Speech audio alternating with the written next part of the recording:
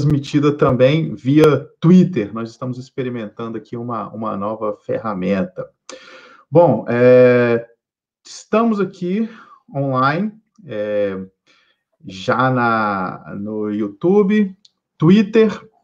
Já vi que tinha gente esperando aqui. Só quero ler quem estava aqui esperando na sala: Eudes Guilherme, professor Rafael Sampaio, é, Elaine, Salvador Teixeira, Francisco. É, tem, tem umas figurinhas repetidas aqui. Obrigado vocês que estão. Tem gente aqui do Clube do Café, já estou vendo aqui gente do Clube do Café. Obrigado por estarem aí esperando. É, espero que esteja tudo certo. Pessoal, coloque aí no chat. A gente está experimentando hoje uma ferramenta nova aqui, é, que, aliás, existe, é paga por conta do pessoal do Clube do Café. Tá aqui o link aqui embaixo da tela. Quem puder, quem quiser colaborar com o Clube do Café, eu tenho um agradecimento imenso pelo pessoal do Clube do Café é, e agradecimento a todos, claro, também que fazem parte aqui do, do nosso canal, têm compartilhado conosco o, o, o trabalho. Lembrando mais uma vez que está disponível no Twitter. Eu quero deixar só mais um recado antes da gente começar. Eu tenho recebido muitas perguntas a respeito de privacidade no Zoom.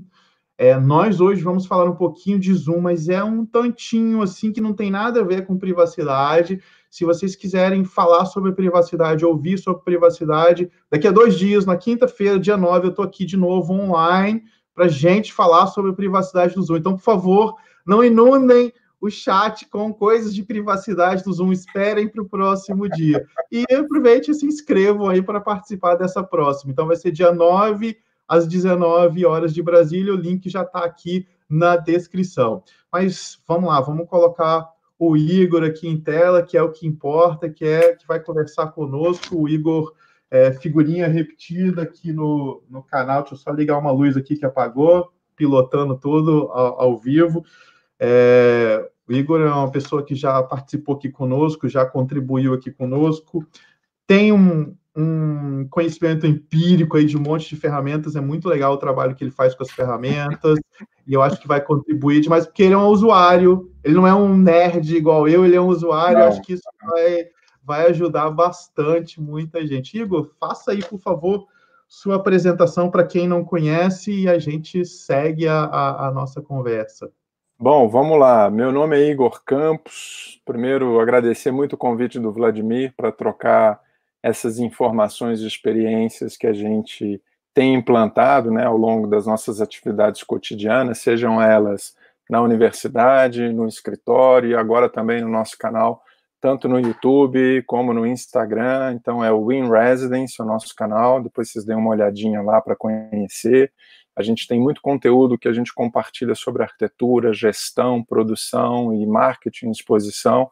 Então a gente fala muito sobre isso e, e eu acho que tem muito conteúdo legal que certamente vai ajudar é, vocês que têm interesse é, nessa área ou que são arquitetos, designers de interior. Então a gente tem esse canal no YouTube, sou professor universitário há mais de 20 anos, já tenho uma estrada aí já de longa experiência é, nos sistemas analógicos, mas temos também agora nos sistemas digitais. Né? Fomos, de alguma maneira, forçados a entrar é, com essas tecnologias e colocá-las à nossa disposição, nós professores, e à disposição dos alunos, para que eles possam nos acompanhar da melhor maneira possível. Então, essa é a ideia, e a gente tem também o nosso escritório de arquitetura, que é o Estúdio MRGB. Depois dê uma procurada também. A gente tem um, um, o Instagram, que é muito legal, arroba Estúdio MRGB. Dê uma olhada para conhecerem, tem um material muito bacana. São trabalhos que nós fazemos tanto em Brasília quanto na Bélgica, temos parcerias fora. Então, enfim, aí essa é um pouquinho a apresentação que eu faço a pedido do meu caro Vladimir. Ô Igor, mas fala uma coisa antes da gente começar. Tá melhor dar aula online ou presencial? Rapaz, enfim, isso foi um desafio, um desafio enorme. É, eu, eu, costumo sempre dizer para os meus alunos que que está sendo realmente um, um, um, um desafio a ser superado, né? Mas o, o, a questão toda é que é, na verdade, assim, aquela, aquela velha metáfora que a gente tem de trocar o pneu com o carro andando, né? Então essa que é a maior dificuldade, porque a gente estava com a programação toda estabelecida para conduzir, ou seja, nos sistemas tradicionais e convencionais que a gente já está habituado, e de uma hora para outra a gente se viu obrigado realmente a se apropriar dessas ferramentas que estão aí disponíveis para continuar o nosso trabalho de maneira qualitativa, sem perder a qualidade, estar mais próximo dos alunos e das pessoas que nos acompanham. Então, acho que esse é o grande desafio, mas está sendo divertido. Eu gosto desses desafios. Eu acho que o mais legal, sabe, Vlad, é a gente identificar realmente essas nessas dificuldades as oportunidades. Eu acho que tem várias aí que estão se descortinando para a gente. Legal. Ô, Igor, mas então conta, vamos começar. Eu falei que era para a gente não falar de, de Zoom, de privacidade, mas pode falar, mas pode falar de Zoom. Né? Vamos, então vamos eu, vou te, eu, vou te, jogar na fogueira aí. É Zoom ou Meet? Qual dos dois? Porque vocês têm lá no, na universidade o, o G Suite, né? Então e aí, qual dos dois? Rapaz, Sem falar olha, de tem uma saída, tem uma saída perfeita para isso. Na verdade, eu vou utilizar uma frase que você normalmente costuma utilizar com recorrência. Eu vou utilizar a ferramenta que melhor se adapta à minha necessidade. Entendeu? Então, nenhum, nenhum vai depender das tuas necessidades, das tuas expectativas. Então, é muito isso. E é verdade, né? A gente sabe que é verdade.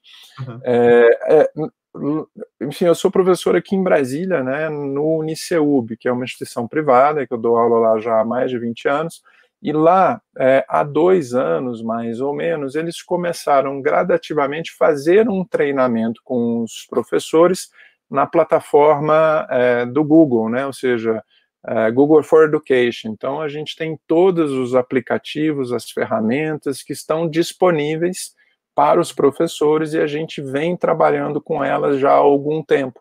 Então, isso fez com que, de alguma maneira, a gente tivesse um pouquinho mais de habilidade para tratar realmente essas ferramentas que estão disponíveis para a gente.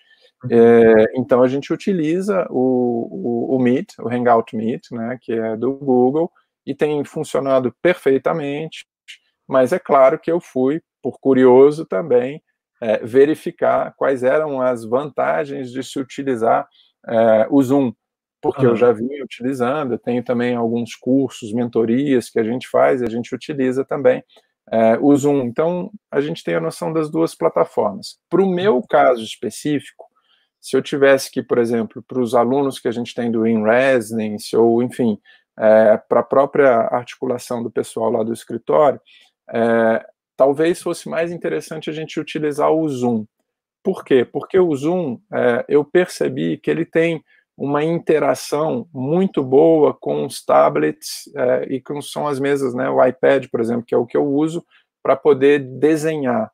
Então, essa, esse manuseio, essa interação, né, de tira uma tela, põe na outra, volta, etc., ele funciona melhor do uhum. que no Meet o Meet de vez em quando cai, derruba, aí a gente tem que voltar. Então essa essa interface, eu acho que o Zoom ele está um pouquinho à frente do que o Hangout Meet, mas a gente também tem mas aí como eu disse a vocês, como a instituição tem a plataforma e está à disposição dos professores, não tem por que não usá-la, né? Então, eu, basicamente... eu percebi isso também, o que o Meet, eu, eu, já fiz alguns testes, porque eu uso o Meet, eu tenho o G Suite, eu uso o Meet, eu, não, eu, eu tenho usado esses dias também intercalado, porque algumas pessoas estão me perguntando coisas do Zoom. Na verdade, eu sempre usei o Zoom quando alguém me convidava para uma reunião que a pessoa já usava o Zoom. Então, eu sempre usei o Zoom, já tem bastante tempo que eu usei o Zoom nunca uso como o host, né, como o dono da reunião. Tenho feito isso nas últimas semanas, por conta do que a gente está vivendo, para testar e até comparar os dois. Então, tem alternado entre Zoom e Meet. Eu percebi a mesma coisa que você. Se eu estou no iPad, ele, ele, cai, né? Ele desconecta a tela quando você está transmitindo a tela. Não sei o que, que é isso, que é um bug, que, que é o Zoom não cai o Meet cai, o Zoom cai. Essa, essa, é, é, isso que acontece com você. É isso que acontece, e é, e é e, enfim, o, o termo específico, mas a, a, usabilidade, né? Não sei como se é esse o termo que a gente é, usa. Né? É. Enfim, ela no Zoom, para você trocar de uma tela para outra é mais rápido, ele é mais ágil. Uhum. Então, realmente, a gente consegue ter um resultado muito melhor nesse sentido. A gente tem uma, um, eu percebo que é muito mais interessante essa interface, essa, essa articulação de você é, mudar de um para o outro rapidamente. E de fato no Meet a gente tem vários problemas assim de quando você altera, cai No, no iPad, né? Que se deixa bem claro, no iPad. No iPad, no iPad. Eu até não sei se, de repente, os outros tablets eventualmente têm alguma outra eu até tenho que falar uma coisa curiosa, porque a gente sempre pensa assim, iPad, telefone, notebook, como uma coisa portátil, né? Quem está saindo para lá. E o Igor, ele tem um iPad daqueles todo sofisticado, enfrescalhado, que ele deixava meio que em casa, de canto, assim. Aí agora o cara tá em casa e resolveu usar o iPad. Então ele está usando o iPad para tudo. Ele está usando o iPad para o Google Classroom, para o Zoom, para o Trello, tá tudo na. Né? Por que, tá tudo no iPad. Por que tá isso? Rapaz, é, porque eu me vi realmente, ou seja, com um equipamento que estava à minha disposição e que eu podia utilizar com muita frequência com os meus alunos, né? Porque é, quando a gente está no escritório, por exemplo, vou no escritório, encontro com o pessoal, ou seja, a gente tem lá todas as, as ferramentas disponíveis e são basicamente analógicas de desenho, desenho à mão, conversar com o pessoal. Então, essa interação é muito mais fácil. Então, uhum. eu não uhum. via muita necessidade de utilizar o iPad lá. Uhum. É, e tampouco na universidade, porque a gente senta com aluno, desenha, desenha em cima. Então, é, eu utilizava realmente muito pouco. Mas agora eu tenho utilizado muito mesmo, muito porque a maneira com que eu tenho de me comunicar com os alunos e também, eventualmente, com o pessoal do escritório, com algumas outras pessoas, é, é por meio do desenho e a ferramenta que facilita essa comunicação para mim é o iPad, no caso. Né? Legal. Ô Igor, então vamos lá, vamos dar uma olhada nesse, vamos, podemos dar uma olhada nesse Classroom aí no seu, no seu iPad para a gente vamos, ver. Vamos, vamos lá, vamos dar uma olhadinha lá no, no Classroom. Ó, Deixa eu abrir aqui uma tela. o Classroom, eu gravei esses dias uma, uma, um tutorial do Classroom para a gente não ficar perdendo muito tempo aqui na, na apresentação. Eu vou pedir para o Igor falar sobre como ele está usando o Classroom. E aí, se vocês quiserem ter uma, uma, um detalhamento de como usar o Classroom, tem um vídeo já está com o link na descrição desse vídeo aqui, inclusive. Vamos lá, Igor. Eu, então, como é que você eu utilizo de uma forma muito simples, assim. Na verdade, é, eu já tinha as minhas aulas todas programadas dos semestres anteriores, né? Enfim, que a gente vai sempre é, adaptando, melhorando, requalificando as aulas que normalmente a gente faz. E aí, é, eu basicamente é, divido em grandes blocos, né? Então eu tenho, por exemplo, as minhas aulas expositivas e nessas aulas eu venho desde o cronograma a temas muito específicos sobre projeto e nessa disciplina específica que eu ministro essa aula é sobre detalhamento, tanto uhum. eu quanto a Suiene, então a gente compartilha, inclusive isso é uma coisa legal de falar, né? Nós damos aula a mesma disciplina e utilizamos as mesmas as mesmas aulas expositivas, então a gente compartilha a nossa sala de aula. Legal. Então, se eu faço uma postagem, ela já recebe, ela já vê, e se ela faz uma postagem, então, entre professores é muito bom e funciona de forma perfeita o Classroom nesse sentido. Então, eu tenho esse bloco das aulas expositivas, então, quando já começam, o semestre já começa, essa sala de aula já está montada, então, os alunos têm realmente noção de tudo aquilo que eles vão é, ter pela frente, todas as aulas, e aí, na medida em que o cronograma vai se desenvolvendo, a gente vai apresentando gradativamente essas aulas. E aí, agora, com o recurso. Deixa eu só te interromper, você faz uma coisa diferente, que é. que tá, Você faz duas coisas diferentes do que eu faço. Uma é, é isso de abrir tudo, né? Então, você já deixa o aluno sabendo do começo até o fim o que, que vai acontecer, porque no Classroom daria para você ir colocando essa, essas matérias à medida que o tempo vai passando. Por que, que você já deixa tudo aberto? Assim, tem, alguma, tem algum motivo? Eu acho mais interessante para o aluno, porque ele pode, é, na medida em que ele tiver interesse, ir aos pouquinhos consumindo as aulas, o conteúdo, se ah. adiantar um pouco, eventualmente, se ele tiver alguma dúvida sobre um aspecto que esteja sendo conversado em outras disciplinas, ele pode consultar. É como um material realmente que fica, que, que fica à disposição deles. Entendi. Né? Então, aí eu sempre costumo liberar, eu acho mais interessante nesse sentido. E aí agora, com essa relação do, enfim, do Google Meet, né? Antes eu não, não usava isso, o que a gente tem agora são as aulas gravadas, né? Essas aulas expositivas e que a gente tem os links todos, que a gente vai aos pouquinhos, faz, uhum. apresenta para os alunos e eles ficam, ou seja, com esse material que também está gravado numa pastinha no Drive, lá no Google Drive. Aí tem um material de apoio, que dá Isso é realmente. É né? Porque o Drive conecta com, o, com, com, tudo conectado, né? As coisas do Google Drive, você consegue mostrar tudo aí, puxar de dentro do Google Drive. É. E aí a gente tem um material de apoio que serve realmente, como o próprio nome diz, de apoio para que eles possam desenvolver seus respectivos projetos, e tem uma série de informações, etc. Eu sempre trago também alguns projetos de alunos de semestres anteriores, porque eu acho legal, porque eles podem ter uma percepção do produto final, né, ou seja, a expectativa é, minha enquanto professor do resultado que eles têm que atingir, uhum. e são resultados interessantes porque são de, é, de alunos, né, não uhum. são projetos meus, etc. Então, acho que isso é um negócio legal, e algumas informações adicionais. Então, eu tenho esses blocos com as aulas, avisos, material de apoio, que fica praticamente disponível para os alunos já no início é, do semestre, no início das atividades é, acadêmicas da, da, nossa instituição. Né? Isso aí é outra coisa que você faz diferente do que eu faço. Eu faço porque, só para quem não conhece o Classroom, cada grande título desse que o Igor está criando aí, aulas expositivas, aulas expositivas gravadas, são eles chamam de tópicos ou temas, não me lembro agora o nome técnico.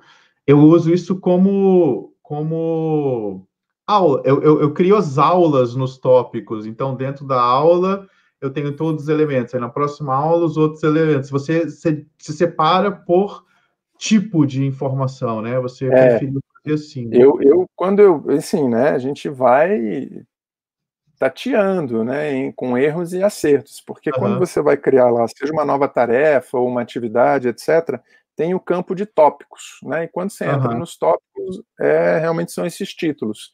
E aí eu utilizei como tal, entendeu? Eu entendi legal, dessa maneira.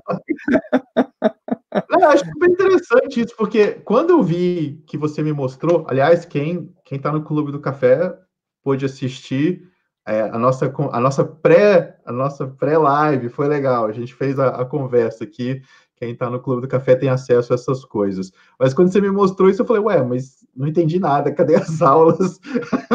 então é interessante que cada um organiza da forma como quer, que é aquela história, né? A tecnologia tem que nos servir. E não a gente ficar lá que, tentando fazer um negócio ser mágico e, e, e milagroso. Não, tem que servir. É uma ferramenta que vai nos servir. Para você tá funcionando assim, até queria saber se alguém usa é, o Classroom, quem está aí assistindo, quem está acompanhando a gente, e como usa, se separa por os tópicos por aulas ou se faz isso que o, que o Igor faz, que eu realmente achei interessante a forma. Uma coisa também... que, que, eu, que eu, assim, por exemplo, do, do Classroom, que eu ainda acho que não é tão uh, dinâmico ou tão visível, é que quando você atribui, né, tem as tarefas, na verdade, que são os projetos, tem esse quadrozinho de tarefa, que são os trabalhos que os alunos têm que desenvolver, é, eu não consigo, pelo menos agora, né, nesse sistema que a gente está à distância, eu não consigo acompanhar a evolução gradativa do trabalho dos meus alunos, porque eles vêm e entregam o bloco, aquela etapa pronta. Uhum. E como eu não estou, ou seja, lado a lado, né, a gente tem as orientações que são feitas pelo Meet, de acordo com a programação das nossas aulas semanais, mas ainda assim eu, eu senti necessidade de verificar o andamento do processo. E foi uhum. aí que eu resolvi trazer o Trello para poder também auxiliar, porque quando os alunos colocam alguma informação no Classroom, seja no mural, né, que você tem as atividades ali do mural, alguns comentários e tal, que eles podem colocar, quando eles colocam essas informações, né, até abrindo aí para vocês, né, tem um mural, e aí, algumas informações, enfim, às vezes os alunos postam alguma coisa, mas as notificações por e-mail, elas são ruins. Hum. E as próprias notificações do aplicativo, eu acho que elas também não são tão, tão amigáveis assim, né? Então, eu, eu não senti muito confortável. E como nós já tínhamos a experiência do Trello, e aí, é, puxando um pouquinho uh, como é que nós fomos introduzidos ao Trello, fomos introduzidos inclusive pelo próprio Vladimir, né? O Vladimir, num determinado momento, lá no nosso escritório, no estúdio MRGB, a gente tinha uma série de processos já muito bem estabelecidos, mas pouco visuais, assim, né, do ponto de vista do entendimento da equipe como um todo. Então, eu sabia das tarefas que eu tinha que fazer, os meus outros colegas e, e colaboradores também tinham as suas respectivas atribuições, só que as coisas não eram muito visíveis e muito uh, perceptíveis, né, do ponto de vista do andamento do projeto dentro da nossa dentro do nosso sistema. E aí eu fui como lista de tarefas, né? Lista de tarefas, é o famoso né, em andamento, né, iniciar, fazer, enfim, nem me lembro mais. Você vê que eu abandonei por completo. Apagou, apagou esse negócio da sua cabeça. Paguei, paguei. Então, é, enfim, eu, e eu acompanho muito o conteúdo que você compartilha lá no teu canal, porque eu acho que ele é muito rico e tal, e de vez em quando, claro que não consigo acompanhar muito, porque tem muito conteúdo com muita frequência, mas uma vez ou outra eu, eu tento mergulhar lá, e eu realmente me interessei pelo Trello, e achei que poderia ser uma ferramenta que poderia nos ajudar, e aí teve um momento em que você veio aqui, né, para o Brasil, você estava por aqui, e aí a gente organizou para você prestar uma consultoria para a gente lá no escritório. Uhum.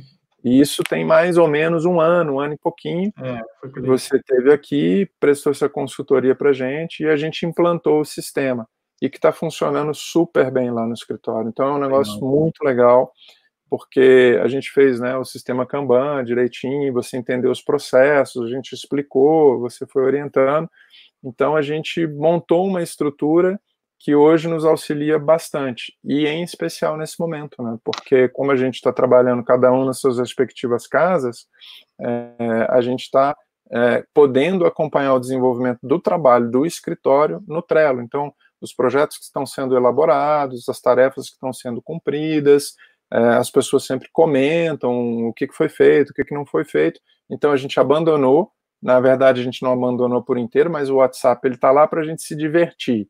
Mas o trabalho está realmente concentrado é, na grande maioria. Claro que a gente tem sempre uns deslizes, né? Isso é normal da natureza humana, mas a gente tenta de alguma maneira concentrar todas essas informações lá. E isso funcionou muito bem. E aí, com base nessa experiência, eu falei, cara, tá funcionando bem lá. Eu acho que uma das nossas atribuições como professor também é abrir oportunidades e né, novas perspectivas de como é que você pode gerenciar o nosso, o nosso tempo, o nosso trabalho. Eu falei, poxa, acho que seria legal compartilhar isso com os meus alunos, porque atenderia as minhas necessidades de verificar se eles estão elaborando o projeto no tempo correto para que eles não se percam em função das dificuldades que a gente está enfrentando pela distância, né? Ou seja, basicamente por isso. Porque é novo, é novo para todo mundo, é novo para eles, é novo para mim, então a gente, eu estou tá tentando tá de alguma dizer, Você está querendo dizer, Igor, que você agora roubou meu emprego, você vai dar aula disso para as pessoas? não, eu estou só aplicando o seu sistema, entendeu? Eu não vou, não, eu tô, tá doido. Já dou muita coisa, já faço muita coisa. Tô...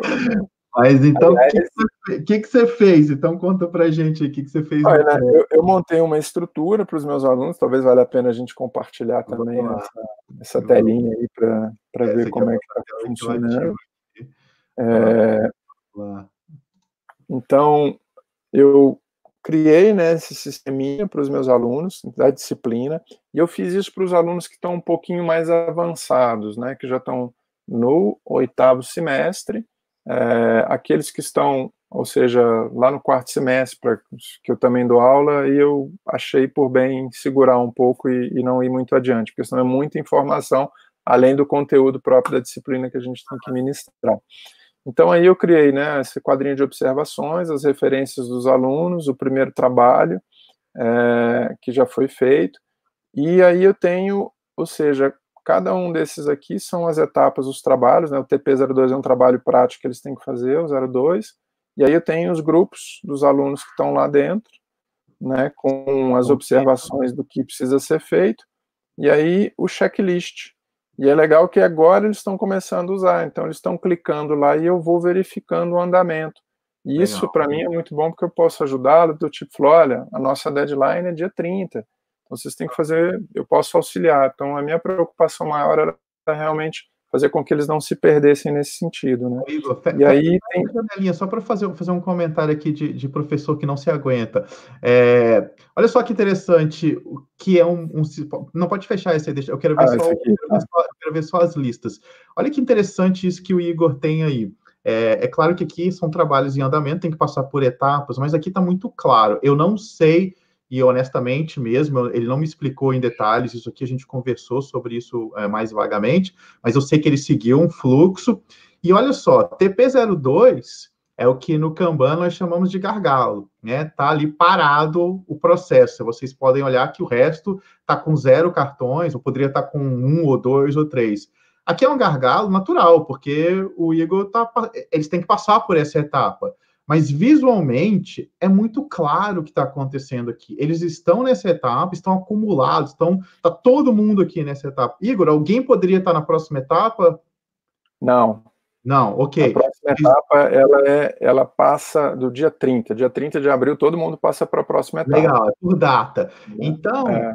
Pode, mas vamos lá, vamos pensar numa coisa, uma coisa possível. Algumas pessoas passam para o dia 30 e outras ficariam atrasadas. Então, pode acontecer. Pode uhum. acontecer. Então, são coisas interessantes que a gente tem uma visão clara quando a gente tem um trabalho em fluxo, sem aquela simplificação do fazer, fazendo efeito ou lista de tarefas. Que eu bato nessa tecla há quase 10 anos. e é tão visual. Cada vez que eu termino uma mentoria, a pessoa fala para mim: Meu Deus, parece que o horizonte se abre.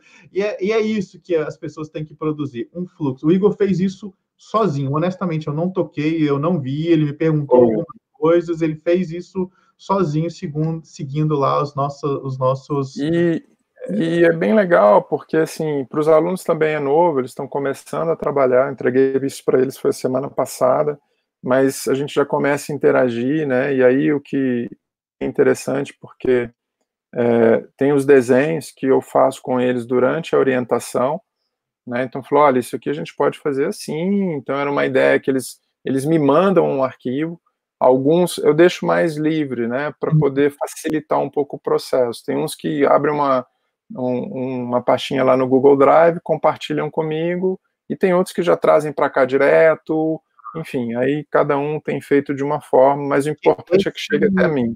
Esse desenho aqui não é não é aquele dos programas, né? O final, um JPEG aqui é um. É ele é um JPEG, ele, mas ele foi feito no programa. Ah. foi feito no, no programa, né? Então, e aí vê aqui ele só vê o rascunhão dele aqui, né? Você não precisa é, entrar em detalhes de produção disso aí, né?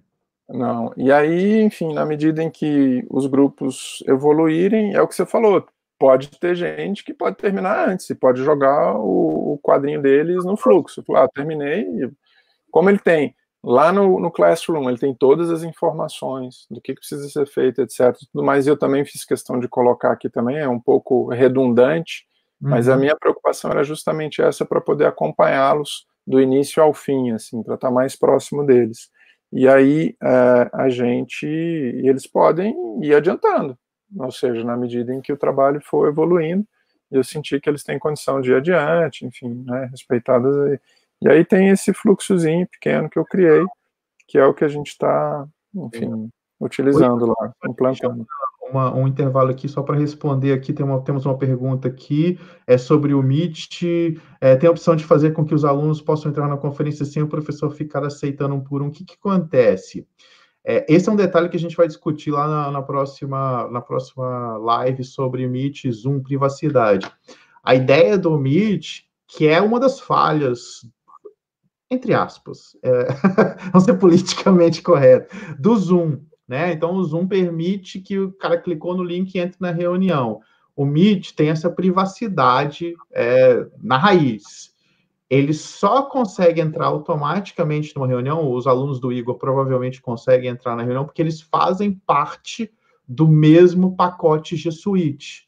Então, ele entra automático na reunião. Você convidou alguém de fora, por privacidade, para não acontecer o tal do Zoom bombing, que é o que está acontecendo, que as pessoas entram na reunião sem serem convidadas, o Meet ele é bloqueado, não entra na reunião sem autorização do professor, porque é justamente para evitar a privacidade. Não tem como desabilitar isso, e se houvesse como desabilitar, eu ia dizer para você não desabilitar isso, porque vai acontecer o que está acontecendo com o Zoom. A pessoa clica no link e entra. É, na... e, e, isso. Uh, uh, eu, eu não sei, até tem um detalhe importante, Vlad, porque surgiu um ruído lá na instituição que uh, os alunos conseguiram autorizar a entrada de alguém.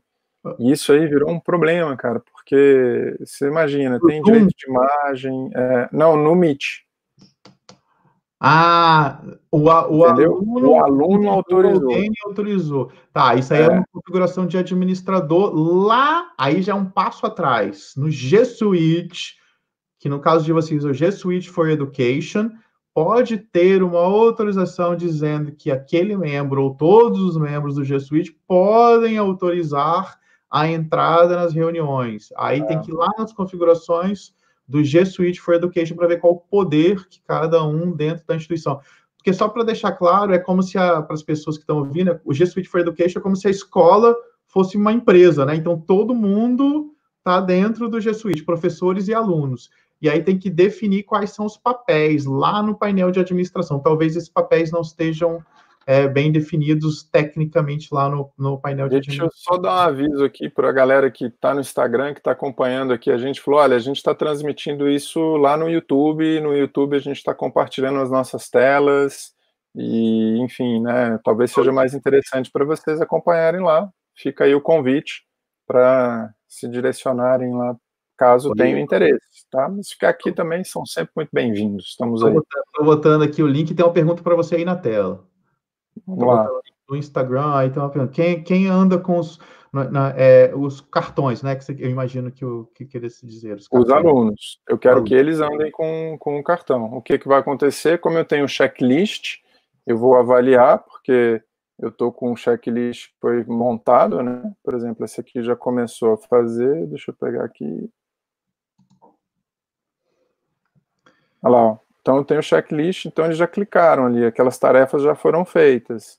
Então, eu vou verificando, eles já postaram para mim, é bem legal, porque aqui, inclusive, a gente está com o link do, do Google Drive que eles colocaram ali. Então, eu fui lá, verifiquei a tarefa, avaliei se o que eles checaram ali realmente estava ok, tá beleza. Então, assim, eu fico tranquilo, porque eu já avaliei, já analisei, percebi que eles cumpriram as tarefas, está bem feito e é, aqui tem até um jeito um pouquinho.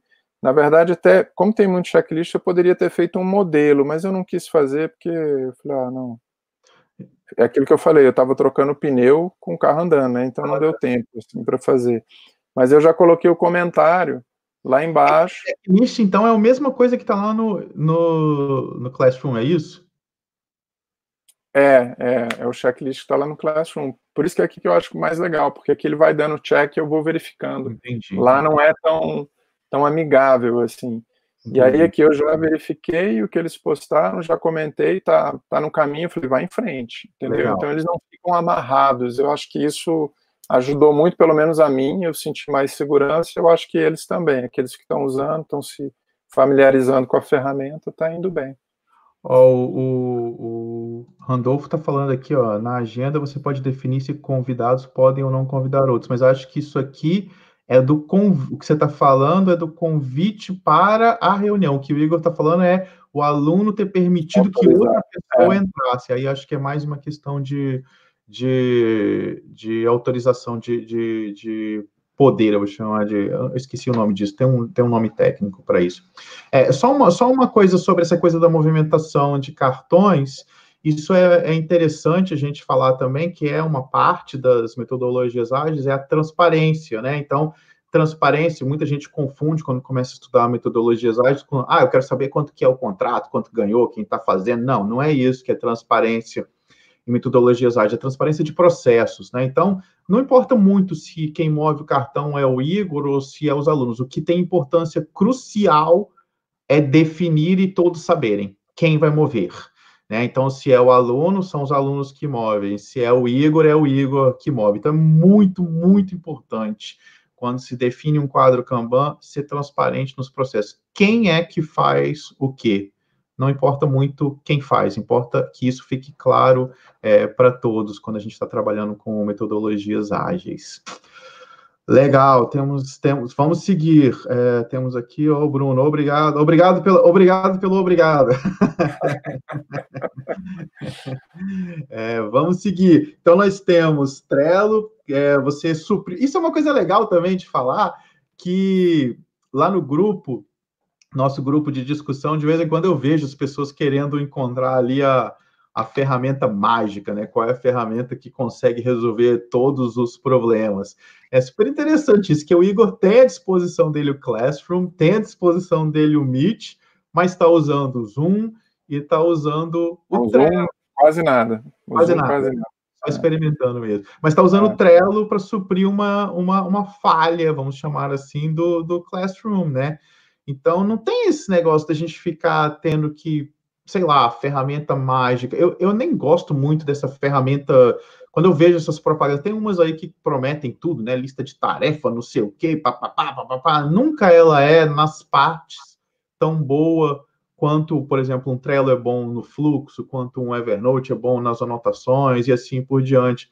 Então, eu pessoalmente não vejo problema, e aqui temos um exemplo de uma pessoa que está até fazendo uma parte do trabalho duplicado, porque percebeu que numa outra ferramenta isso vai ser visualmente mais eficiente. Digamos que o, o, o meu Classroom está funcionando mais ou menos como o Evernote. tá tudo lá, entendeu? Tá tudo registrado lá e o Trello tá aí dando, enfim, a, a dinâmica necessária para o processo, né? Eu acho que é um pouco essa relação. Vamos ver, tem uma pergunta que talvez você saiba resolver. Dúvida: criando atividades com correção automática Google Class, existe alguma forma de impedir que os alunos vissem as respostas após a entrega da tarefa? Não sei se eu entendi. Criando atividades com correção automática, Google Classroom. Existe alguma forma de impedir que os alunos vissem as respostas após a entrega da tarefa? Não entendi bem, Pablo. Eu também fiquei meio na dúvida. Se a gente faz as. Como é que é? Existe alguma forma de. Ah, impedir que os alunos vissem as respostas após a entrega. De repente, se outros alunos têm acesso às respostas, será que é isso? Não, não Tenta explicar para a gente melhor aí, Pablo. Se alguém souber, se alguém entendeu, por favor, por favor, é, respondam aí ou, ou, ou expliquem melhor para a gente. Até, é... até no meu caso é um pouco difícil, porque como é projeto, é, as respostas elas não são iguais, né? Ou seja, cada, cada aluno, cada grupo tem um projeto distinto, então elas são muito específicas, assim, então e, e, como eu faço, na verdade, não são nem, nem sempre são respostas, são desenhos que a gente faz com base no que nos é compartilhado assim, pelos alunos.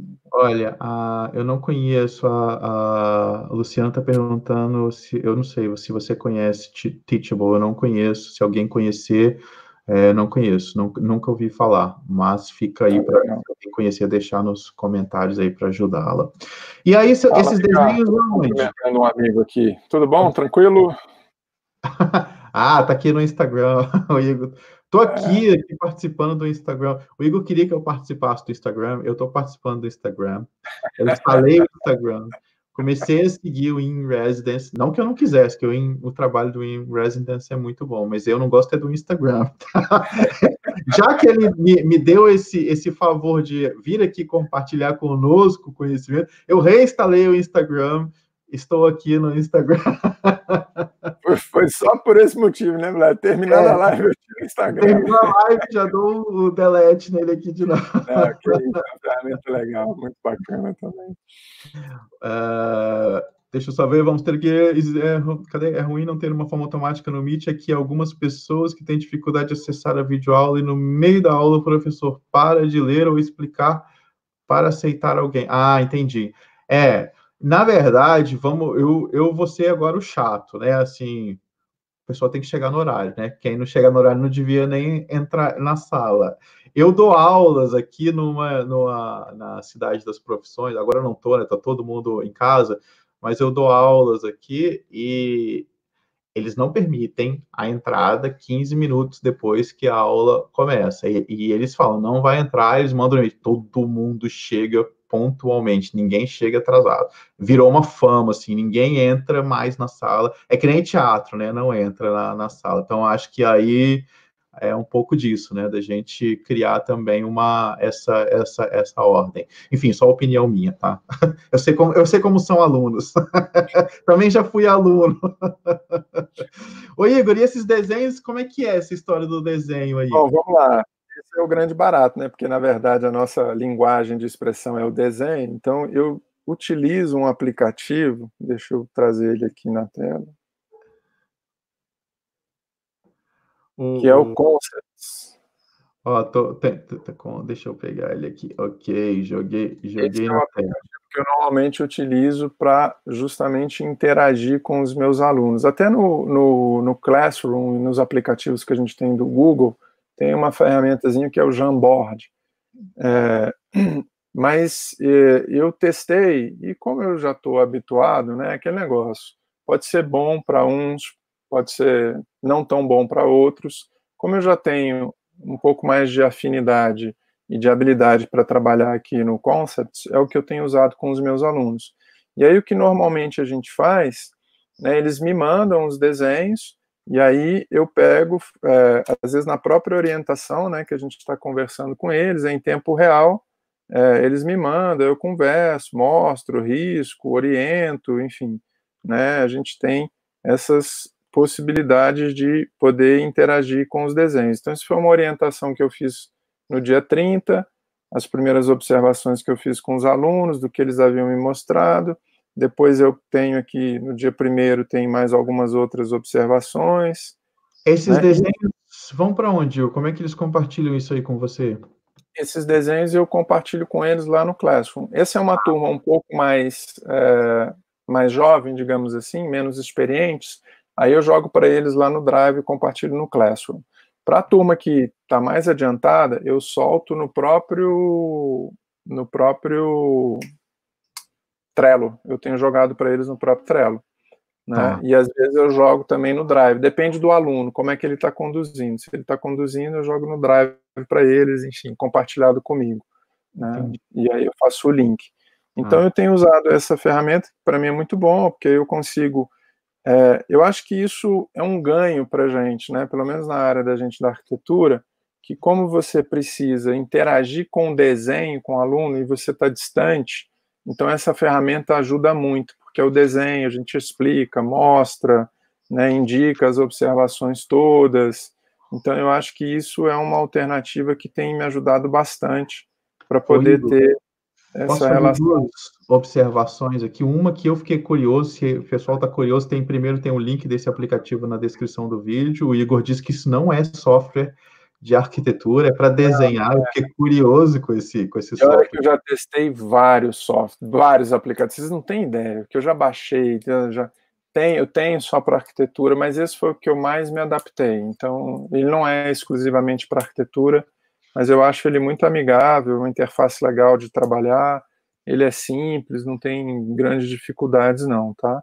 Então, uhum. e eu faço, tenho feito para os meus alunos, uhum. né, tem desenhos vários que eu faço, isso aqui já é um desenho é, lá do, do trabalho, e aqui eu trago, às vezes trago as fotos, e aí tem, como eu trabalho, tem os layers, né, você pode soltar, né, Sim, das né? conversas que a gente tem, para poder falar, olha, cuidado com as vias, os fluxos, então eu risco, explico para eles o terreno, o que, que tem do lado, o que, que tem do outro.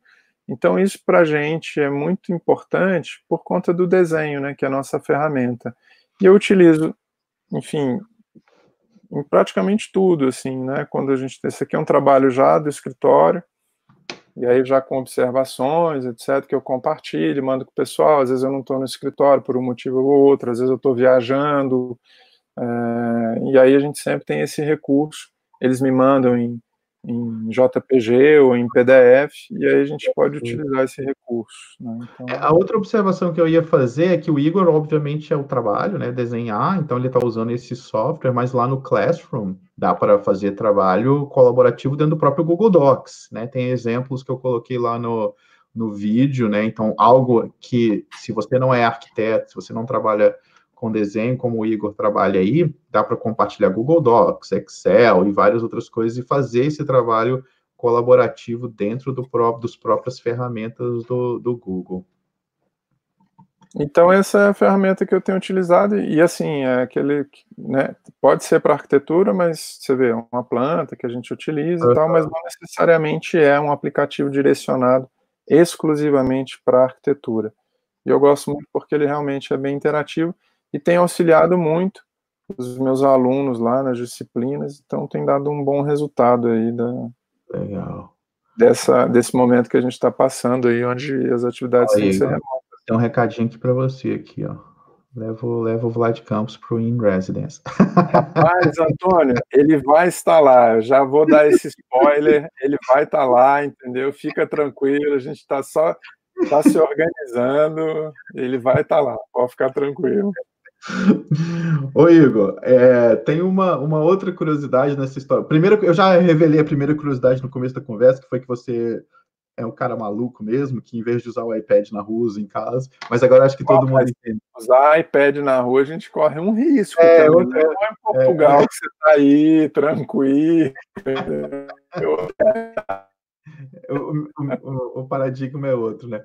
Não, mas é, a, a, outra coisa é, que eu achei super interessante da nossa, da nossa pré, pré-conversa foi a história do Calendly, né? Que você está fazendo o, ah, os agendamentos pelo Calendly, você me pediu uma ajuda, só aconteceu uma coisa curiosa aí nessa história, nessa história do, do Calendly aí, né?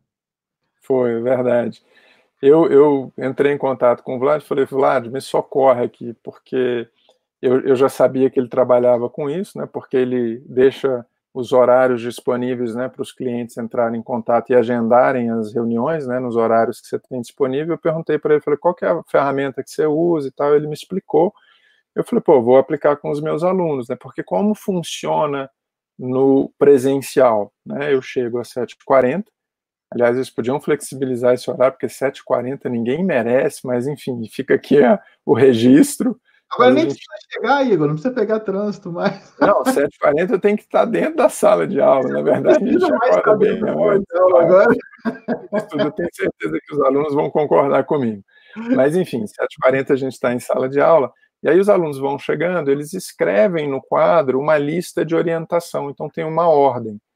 E eu falei, cara, como é que eu posso fazer isso de maneira que eu saiba por antecipação quais são os alunos que estão ali mais ou menos aguardando para que eu possa me organizar. E aí foi justamente essa ideia do Calendly que é, eu conversei um pouquinho com eles, eles começaram a utilizar e eles começaram a agendar das 7h40 às 11h20, intervalos de 15 minutos, né, que dependendo, às vezes eram dois, eles pegavam dois intervalos de meia hora para orientação e discussão, então eu comecei a fazer isso, eles começaram a utilizar. Só que eu senti que não estava não estava rodando como eventualmente seria interessante. E aí é, eu perguntei para os alunos no nosso Hangout Meet, numa sala de aula, falei, gente, eu criei aquilo lá, porque o Calendly ele cria um link específico para reunião um a um, né, no caso. Então, os outros alunos não participariam, pelo menos na versão gratuita que é a que eu estava uhum. utilizando, né? Na versão e... paga você consegue, mas aí você tem que pagar para todas as pessoas. É, então, aí não, não dá, né? O salário de professor assim, não é tão, tão generoso. Mas, enfim, aí ele estava utilizando. É, mas eu perguntei para os alunos, falei, mas então, vocês estão achando interessante, vale a pena? Aí eles disseram, não, professor, a gente acha legal, porque a gente pode mais ou menos se organizar, mas a gente quer estar tá dentro da sala de aula com uma orientação, por exemplo, mesmo que seja específico para um grupo, mas que todos os outros possam estar acompanhando. Porque muita coisa que é dita em um projeto, né, uma dificuldade que um aluno está encontrando, ela eventualmente é a mesma em outros grupos. Então, isso eu achei legal. Isso, inclusive, é muito mais interessante do que no presencial. Porque no presencial você está ali na tua mesa, os alunos se aproximam para ser orientados, os outros ficam distantes. Então, eles enfim, não tem esse reflexo de sentar não. junto e tal. E isso eu achei um negócio bem legal.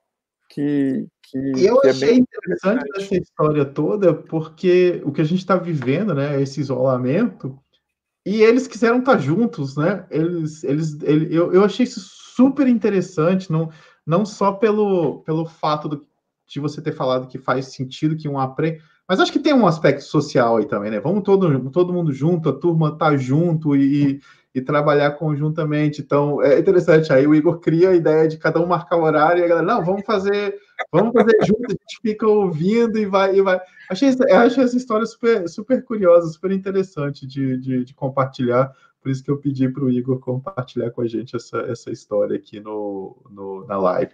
É, Nelson está perguntando aqui qual é o nome do aplicativo de, de desenho, imagino eu. É, tá tudo no, na descrição, como é o nome, Igor, do aplicativo mesmo? Tá na descrição, tá, Nelson? Nelson, participante do Clube do Café, obrigado. Você está contribuindo para essa live acontecer desse jeito. Adquirir aqui esse, esse, essa licença desse software, pessoal do Clube do Café que está conseguindo fazer, está ajudando a fazer isso aqui ser possível. É, então, Igor, eu acho que é isso. Acho que nós, nós falamos sobre toda a sua forma Cobrimos de todas as... Quer adicionar alguma coisa? Alguém quer perguntar mais alguma coisa? Ah, o Antônio aqui está perguntando se o Trello que você está usando é na versão gratuita ou paga. Não, eu utilizo é, o Gold. Gold. Eu uso é, Gold, é, Gold. É, Gold. O Gold, gente, ele é, ele é a versão. O Trello está dividido entre Trello é, eu vou chamar. Não, não existe essa divisão técnica no Trello, mas eu vou dividir assim, tá? Ele está dividido em pessoa física e pessoa jurídica. De novo, não existe essa divisão no Trello. Eu que, eu que criei aqui para entender. Então, no gratuito e no Gold é mais voltado para pessoas ou para pequenas empresas. Escritório do Igor ali, tranquilo. E grande parte das minhas mentorias é para esse tamanho e o Gold funciona bem do business class para cima, ele já é para a empresa, minha opinião, já é para empresas maiores. Não há necessidade, dá para a gente usar o Gold tranquilamente, com alguns cuidados, e aí vai funcionar. E o Gold, não sei porque ele é meio secreto lá na Trello. Vocês têm que, eu vou botar aqui nos comentários, para chegar no Gold, vocês têm que trello.com/barra Gold. Ele não aparece quando você vai lá na, no lugares de compra. Então, se você quiser comprar o Gold, você tem que entrar nesse endereço. Eu tenho uma suspeita, porque o Gold ele era um, ele não existia como compra. No passado, o Trello ele permitia que você, ainda existe isso. Você convidar pessoas, você ganha um pouquinho de, ganha um mês de Gold, acho que para cada pessoa, até o limite de seis meses, sei lá, tem um limite assim. E não vendia-se o Gold. Então, acho que quando eles começaram a vender e deixaram essa página lá separada, nunca juntaram com, com o restante do, dos outros dos outros. Vou, vou, colocar aqui em tela também, trello.com é, barra gold. Estou adorando essa ferramenta aqui, estou me sentindo um piloto aqui de, de avião aqui. Eu tenho que agradecer também o Igor, que ele teve a paciência de me encontrar umas três vezes para eu experimentar. A primeira vez que eu estou a gente tem que agradecer a paciência da turma que nos pegou testando o Insta também, né? Porque a gente entrava lá, não. Ah, gente, é, o Instagram ó, também, o Igor o, o, abusou da boa vontade dos seguidores dele, que a gente estava testando aqui. Mais alguma coisa, Igor, que você quer colocar? Alguém quer fazer mais alguma pergunta? Bate-papo inicial, né? Já é, dizendo e deixando é, o convite, porque aí a gente vai trazer o Vladimir para conversar com a gente no In Residence, e aí para a gente realmente orientar muito do ponto de vista da gestão, dos escritórios, etc., né? ou seja, dessa questão da produtividade. Eu gosto muito é, dos, das orientações do Vlad quando a gente fala de procrastinação. Ele tem umas coisas muito bem, bem direcionadas, é um coach bem, bem duro nesse sentido, entendeu? Analista de Bagé, Analista de Bagé, exatamente. Então, é, ele, ele vai estar com a gente, a gente vai organizar, e é claro que aí nesse momento a gente já tendo um pouquinho mais de domínio dessas ferramentas todas que estão aí disponíveis, a gente vai avisar com antecedência, mandar os e-mails, enfim, para convidar a todos para estarem conosco é, nesse sentido. A Polly está dizendo lá no Instagram que precisa de um coaching, Vlad. Polly é, gente finíssima, Olha, foi minha aluna com a gente agora leu, lá no Investments. Você já leu e... Analista de Bagé? mas, mas é legal, está sempre acompanhando e dando uma força para a gente enorme, e a gente tem que estar tá junto dela também, que ela está tá aí com a gente no curso, no projeto 100% também, que está acompanhando. Igor, Igor, olha, olha é. quem está aqui te mandando um, um abraço aqui. Oh, Rui, fala Rui, como é que tá Famalicão? capital do mundo. ah, que legal. Que legal. Bom, então, pessoal, é, agradecer. É, eu coloquei, alguém perguntou da ferramenta. Desculpa, tá, tá aparecendo muitas mensagens aqui. Vou dar um tchau aqui no Instagram, lá de uma hora ele cai. Aí a gente continua ali no, ah. no YouTube para despedir corretamente. Ó, um abraço para vocês todos que ficaram com a gente aí no Instagram. E quando chegar o momento correto e oportuno, a gente vai fazer a live com o Vlad é, para falar sobre gestão dos escritórios e produtividade. Abraço aí, Instagram. tá certo, mas é isso aí, Vlad. Acho que... Então, tá aqui, é, deixa eu fechar aqui o Instagram.